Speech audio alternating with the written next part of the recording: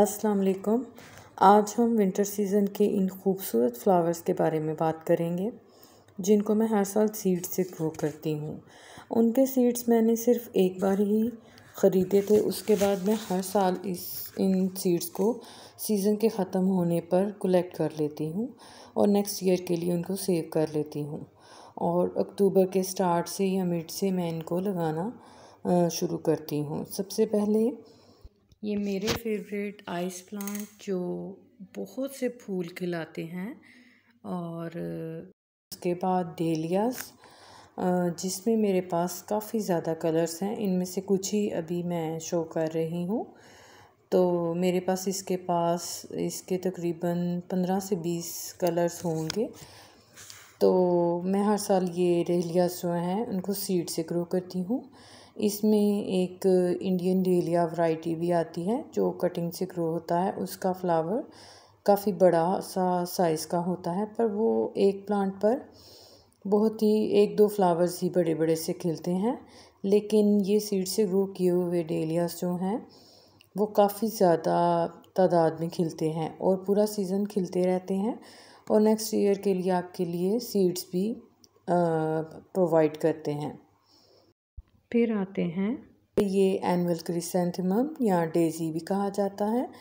और ये कैरेंडुला है, जिसकी सीडलिंग्स मैंने कुछ दिन पहले ही की हैं। और फिर ये सिनेरेरियाज इसमें भी काफ़ी कलर्स होते हैं। और ये हैं कॉक्सकॉम्ब और इसके बाद मेरे फेवरेट ये कॉस्मस जो विंटर के कॉस्मस हैं। इनमें मेरे पास विंटर वाले तीन तीनों कलर्स ही मौजूद हैं। समर वाले येलो और ऑरेंज जो हैं वो विंटर में नहीं ग्रो किए जाते। और ये हैं डॉग फ्लावर्स जिनको एंट्रीनियम भी कहा जाता है। इसमें भी काफ़ी ज़्यादा कलर्स और शेड्स होते हैं। और ये मैरीगोल्ड्स जो बड़े वाले बॉल शेप के फ्लावर्स होते हैं। और इसमें फ्रेंच मैरीगोल्ड ये छोटे छोटे फ्लावर्स हैं। और उसके बाद ये नस्ट्रेशियम्स जो एडिबल प्लांट्स भी हैं, और इनको खानों में भी यूज़ किया जाता है। इनके बाद ये आते हैं पेंसिस इसमें बहुत से कलर शेड्स और वैरायटीज़ होती हैं, जिनमें छोटे फ्लावर्स वाले भी होते हैं और कुछ के फ्लावर्स जो हैं वो बड़े वाले होते हैं। मेरे पास ये बड़े वाले फ्लावर्स में हैं। तो इसके काफ़ी ज़्यादा कलर वैरायटी हमें मिल जाती है। तो आप देख रहे हैं, ये एक छोटे फ्लावर्स में है। इसमें फ्लावर ज़्यादा आते हैं।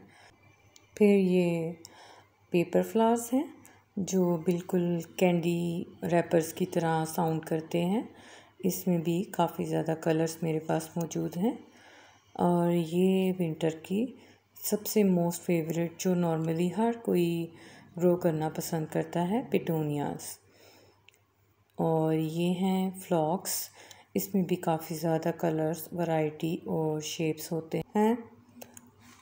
और फिर ये सनफ्लावर्स, जो कि विंटर और समर दोनों में ग्रो किया जाता है। और ये अलाइसम के दो तीन शेड्स होते हैं मेरे पास। उसके बाद ये हॉलीहॉक, जो लेंथ में काफ़ी बड़े प्लांट्स हो जाते हैं। इन सब की सीडलिंग्स मैं इस मंथ में मंथ में कर रही हूँ। और सीडलिंग के डिटेल प्रोसेस के बारे में एक वीडियो मैं पहले ही अपलोड कर चुकी हूँ। मैं जल्द ही इन फ्लावर्स की सीडलिंग्स के अपडेट के साथ हाजिर होंगी। आई होप आपको वीडियो पसंद आई होगी। तो चैनल को सब्सक्राइब करें। अल्लाह हाफिज़।